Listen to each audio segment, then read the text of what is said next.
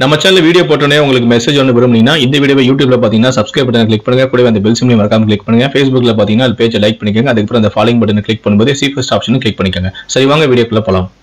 திருப்பத்தூரை அடுத்த நந்தம் கூற்றோடு பகுதியை சேர்ந்தவர் தான் வெங்கடேசன். இவரின் மகன் தான் சந்தோஷ். வயது இருபத்தைந்து.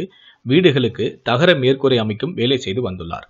நேற்று மாலை அதே பகுதியில் விளையாடி கொண்டிருந்த ஐந்து வயது குழந்தையை கடத்தி சென்று பாலியல் பலாத்காரம் செய்துள்ளார்.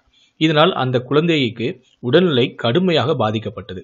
இதனால் அந்த சிறுமியை திருப்பத்தூர் அரசு மருத்துவமனையில் அனுமதித்தனர்.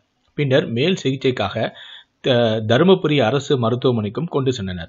உயிருக்கு ஆபத்தான நிலையில் உள்ள சிறுமியை மருத்துவர்கள் தீவிர கண்காணிப்பில் வைத்துள்ளனர். சிறுமிக்கு நேர்ந்த இந்த கொடுமையால் ஆத்திரத்தில் இருந்த சிறுமியின் உறவினர்கள் சந்தோஷை தேடினார்கள். பின்னர் நத்தம் பகுதியில் உள்ள தோட்டத்தில் அந்த இளைஞர் அடித்து கொல்ல கொலை செய்யப்பட்ட நிலையில் சடலமாக கிடந்தார். அவர் அணிந்திருந்த சட்டை அங்கிருந்து சிறிய மரத்தின் அடிக்கிளையில் மாட்டப்பட்டு கழுத்தில் சுற்றிவிடப்பட்ட நிலையில் இருந்தது. சந்தோஷின் சடலத்தை கைப்பற்றிய கந்தளி போலீசார் பிரேத பரிசோதனைக்காக வேலூர் அடுக்கங்பாறை அரசு மருத்துவமனையில் அனுப்பி வைத்தனர். மேலும் வழக்கப்பதிவு செய்து தீவிரமான விசாரணையும் மேற்கொண்டனர்.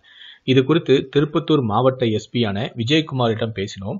பாதிக்கப்பட்ட சிறுமி உடல்நலம் தேறி வருவதாகவும் மருத்துவர்கள் கூறியிருக்கிறார்கள் என்றும் அந்த இளைஞர் கொலை செய்யப்பட்டாரா அல்லது தற்கொலை செய்து கொண்டாரா என விசாரணை நடக்கிறது என்றும் பிரேத பரிசோதனை அறிக்கை வந்த பிறகுதான் தெரிய வரும் அது தற்கொலையா அல்லது திட்டமிடப்பட்ட கொலையா என்பது என்றும் அவர் கூறியுள்ளார்.